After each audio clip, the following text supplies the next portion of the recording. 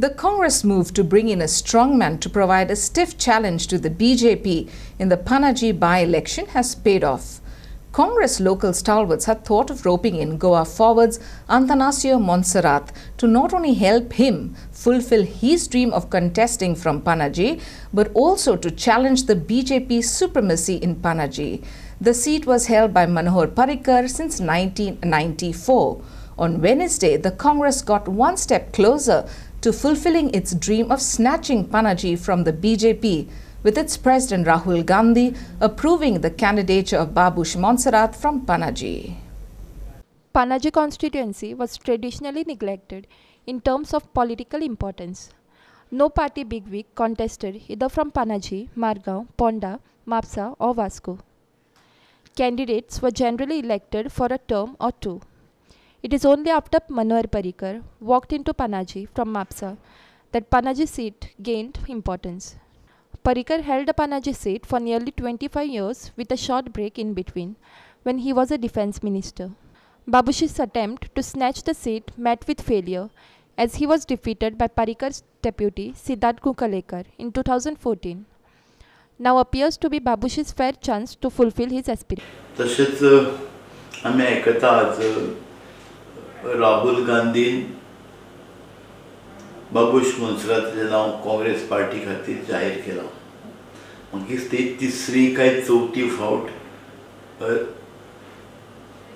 Babush Monserrate Congress पार्टीन entry करता. हेजी पयलीं तेणें इलेक्शना म्हाका याद जाता की काँग्रेस पार्टीचे नॉमिनेशन पेपर केल्ले आनी एक वटेन जी डी पीचे नॉमिनेशन पेपर फायल केल्ले आनी लास्ट टायमार तेणें म्हाका दिसता ते नॉमिनेशन पेपर फायल केले e- काँग्रेस पार्टीचे. आनी सगळ्याक सर सरप्रायज म्हणजे काँग्रेस पार्टीचे नॉमिनेशन पेपर तेणें विड्रॉ केले आनी मागीर तो ई जी डी पीचो कॅन्डिडेट जावन निवडून आयलो हेजे खातीर म्हाका दिसता कितलो बाबू सिरियस आसा तो आमकां खबर ना. आमकां आमचे कार्यकर्त्याचेर पूर्ण विश्वास आसा पणजेच्या ते कश्ट करतले. बाबूश आसूं जाल्यार आनी कोणी आसूं पणजेचो विजय हो निश्चितपणे आमचो आसा भारतीय जनता पक्षाचो आसा आनी खऱ्या अर्थान ही श्रद्धांजली आमी समजतले. आमचे मंगलबाई पर्रीकर आमचो माजी मुख्यमंत्री आमच्यान भितर ना ताका तेजें काम पळोवन तेजो वावर पळोवनूच पणजेकार भारतीय जनता पक्षाक मत दिलें.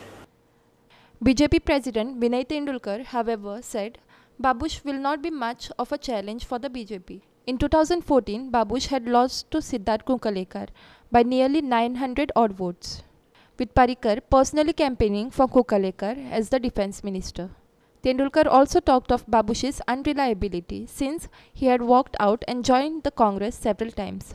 How much the Congress can rely on Babush is to be seen. Tendulkar told Prime TV. Babush's workers and supporters were jubilant after Rahul Gandhi approved his candidate for the Panjim seat. They said that Babush's track record on development speaks for itself. Panjim will get back its past glory if Babush is elected as the Panjim MLA. Taligaon Sarpanch Agnello Fernandez stated. A youth policy is also on the cards, Fernandez stated.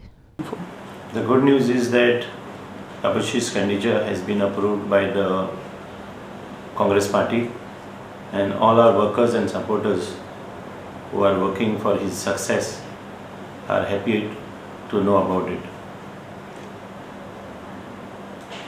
The jubilation was their moment. Babush said he is contesting the Panjim seat, which will see the change in Panjim and the opportunities he is asking for is for the remaining two years what is remaining. He will show the development what he is his main aim for the Panjim city. For Prime, video journalist John De Silva, Panjim.